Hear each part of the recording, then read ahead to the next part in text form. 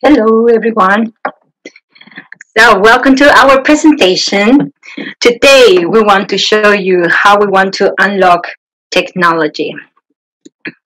This is our team, Mehdi, Lucas, Niels, and me, Konsu, and we're the team of Openhour. So, let's start facing the problem. Here we see Alex, and he lives in a throwaway society, a society where obsolescence has become a business model. Um, for example, Alex's phone got slower over the months, and yesterday it finally died. So Alex doesn't have the technical information of repairing a phone or make any um, physical modification. So um, and let's be honest, buying a new one is way cheaper. So Alex wants to do this time right. And he goes to the internet and he finds nothing. But that's why in this case we want to help Alex. So we develop a platform where technology and its documentation is available to Alex and to everyone. So, but why we do this? Um, why uh, do we uh, want to create this platform? Why do we, why do we want to make it work? Because technology today is not accessible; it's closed. So, meaning that the documentation to build, to modify, to repair it is not available to the public. So, we want to share technology in our platform for you, so please, Niels, show us how. Thank you, Konsu.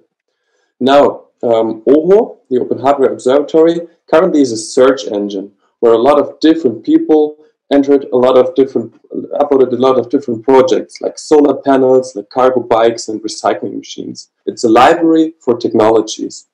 The problem is that it's still a very messy library with a lot of incomplete documentations, often just containing of a YouTube link.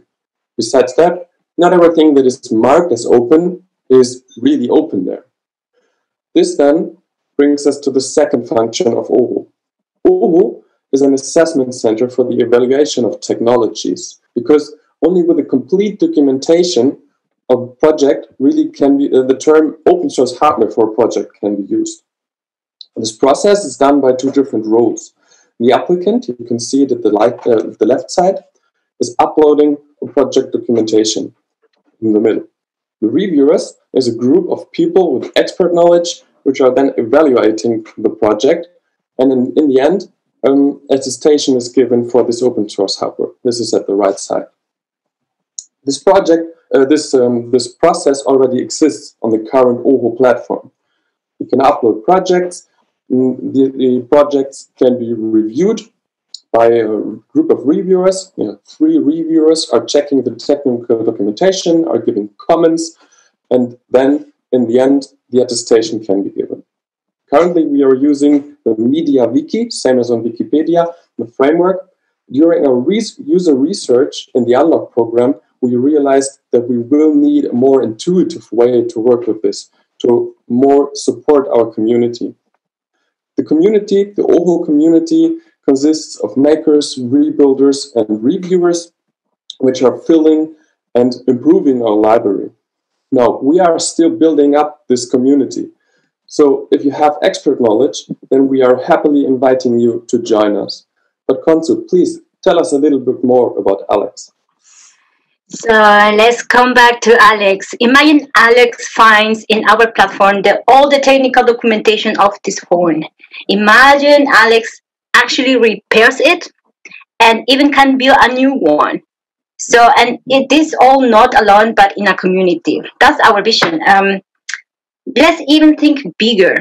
Maybe um, it's not all about a phone, but it's also to build uh, solar panels, is to build uh, machines to recycle in South America, in Canada, everywhere we want. So imagine we decide the lifetime of a product or a machine we use. So here again,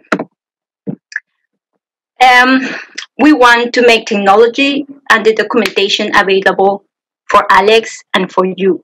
We want to share it safely and build open source uh, hardware everywhere to everyone. Thank you.